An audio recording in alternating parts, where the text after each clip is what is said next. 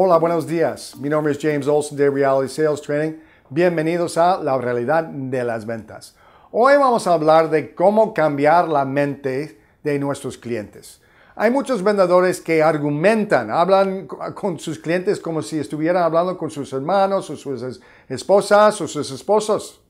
Argumentan. Nosotros tenemos que calmarnos y hacer al cliente sentir que está escuchado y entendido. Entonces, lo que tenemos que hacer es escucharles con calma. Hay muchos vendedores que cuando el cliente está hablando, ellos están pensando en lo que van a decir. Nosotros, cuando el cliente está hablando, vamos a estar pensando en otra pregunta sobre lo que está hablando el cliente. Y cuando el cliente ya está terminado de hablar, ya va a estar listo de escuchar nuestras ideas. Y en esos momentos van a decir, señor Corros, estoy de acuerdo con usted, pero muchos de nuestros clientes han intentado este producto de esa forma y les ha ido perfectamente bien.